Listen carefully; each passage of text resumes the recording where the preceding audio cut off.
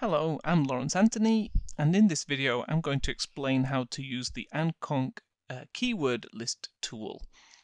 Okay, another video shows you how to download AntConc and get started with the software, so I'm just going to jump in and load in the journalism or press uh, subcorpus of the Brown corpus, which is a million word corpus of general English, and then get started. So first I'll go to Open Files, and here I'm already in my uh, folder for my corpus and I'm going to select A, B and C of Brown which is the uh, press or journalism subcorpus and open these files into AntConc. Then I'm going to go to keyword list and click that and I'm ready to start. So the keyword list tool lets you find words in your corpus that are unusually frequent when compared to the same words in a reference corpus. Now, the measure of use unusualness is often called the keyness strength, and so we call words with significantly different frequencies from those in the reference corpus keywords. Now there are various ways to calculate the keyness strength and I'll show you the two measures that AntConc uses later. The keyword list tool also lets you search for words in your list so that you can find their frequency or keyness strength measure very easily. So let's create a keyword list. So we just go to the bottom of the screen here and click Start. And if you click Start, you'll notice first that it the software says no reference corpus word list is available.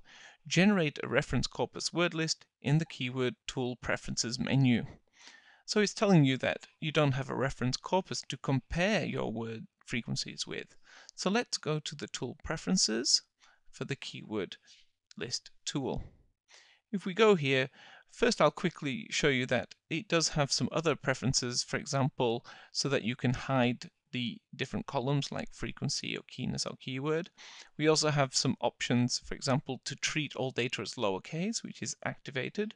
That means that when it counts the frequencies, it will assume that all words are lowercase, which is normally what you'd want. And when we're sorting, normally we, we are not interested in the case, but if we click on treat case in sort, it will sort the results with um, uppercase words coming first and lowercase words coming second. You'll also see here the keyness value method, and it currently has log likelihood as the choice.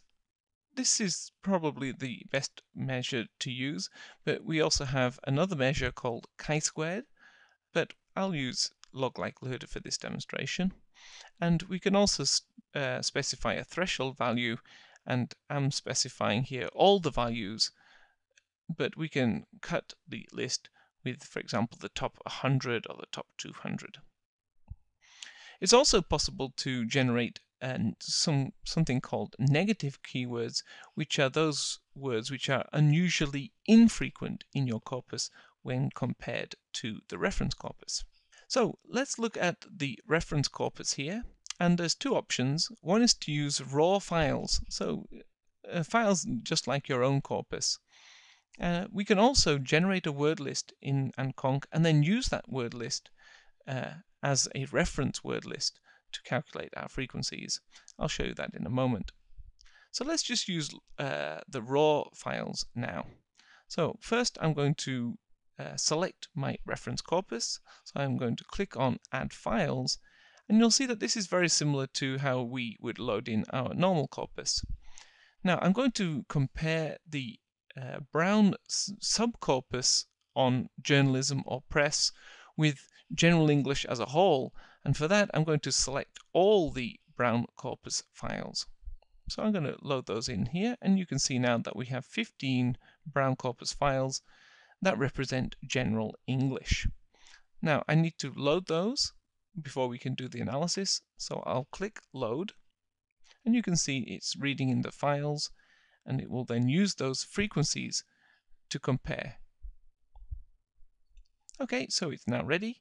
So I'm going to click apply.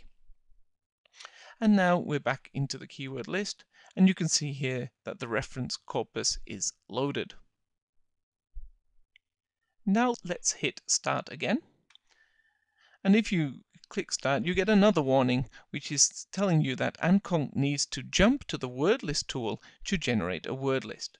So it uses the word list tool to create a list of the frequencies of the words in the Brown corpus uh, subset that you have here, and then it's going to compare those frequencies with those in the reference corpus. And it's just proceeding now to create a keyword list. And here it is. Now you can see that the uh, list is very different from a normal word list. We have, for example, a frequency of 385 for the word Mr. appearing at the top, but a uh, word has appearing with a higher frequency second. And the reason for that is because we are sorting these uh, keywords by their keyness values, uh, with Mr. appearing at the top and the keyness values dropping as we go down. You can see here that this is how the sort is being ordered, sort by keyness. So the results show you that the word Mr. is unusually frequent in the subcorpus on journalism or press English.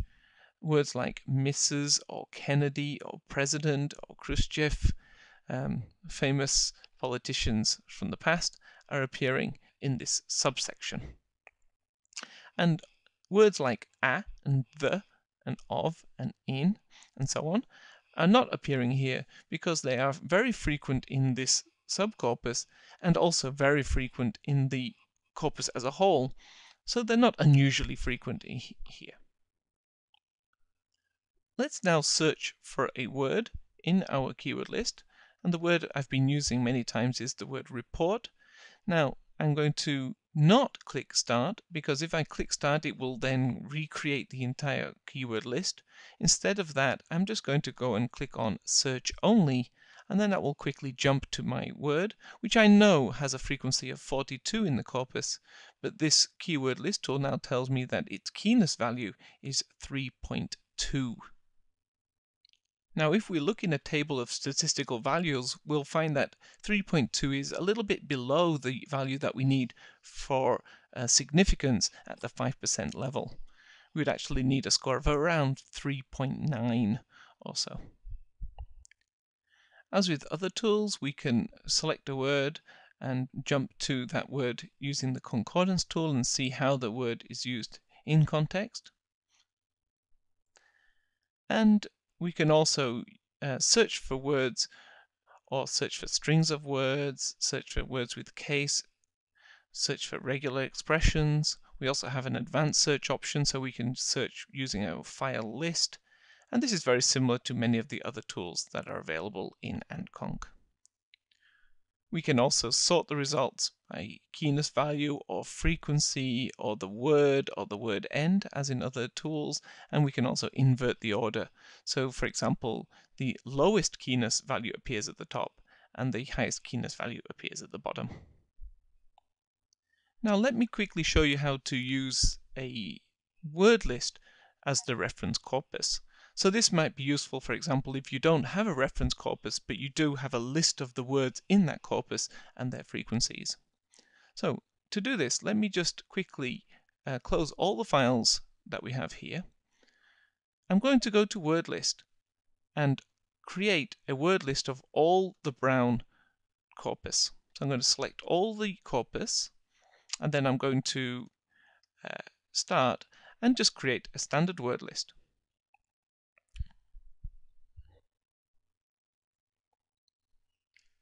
This will take a few moments.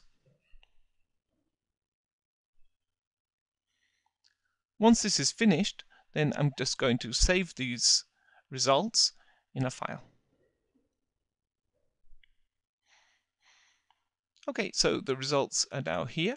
So I'm just going to go to File and then Save Output to Text File.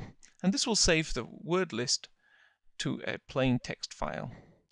So I'll click on Save. And here's my dialog. And I'm going to uh, uh, navigate to my uh, main folder and just save the results here. I'm going to call it uh, brown uh, word list like this. I'm now going to go back to my subcorpus as I had before.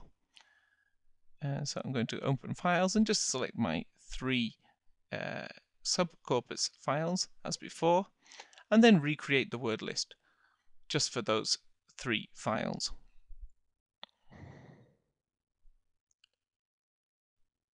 Now, if I want to create a keyword list uh, and I don't have the original reference corpus, what I can do is go to Tool Preferences, and here, instead of using the raw files of the Brown corpus as you as I had before, I'm going to select using a word list. So I'm going to now navigate to my word list and load that instead. So I go to uh, Files, Open Files. I navigate to my Brown word list and open that into the software. So you can see I have now just a single word list. I'm going to then load that into AntConc. And then the procedure is very similar to before. So it's now just loading in the file, counting all the frequencies for this uh, file. So now that's ready. I'm going to click apply. And you can see that uh, if we go to keyword list, uh, the reference corpus is loaded. And if I click start, we get exactly the same results as before, but now we haven't used a set of raw files, we've just used a single word list. So that's how you would use a word list from a corpus that you don't have. Let me finally show you uh, one other tool preference option, and that is to show negative keywords. These are words which are unusually infrequent in the corpus that you have. So I'm going to apply that and hit start again. And it will now find my keywords at the top, but if I scroll down, we will find at the bottom, uh, highlighted in blue, these are words which are unusually infrequent in the corpus. So words like you and I, she and had are very unusually infrequent in this subcorpus. So that's the keyword list tool. Thank you.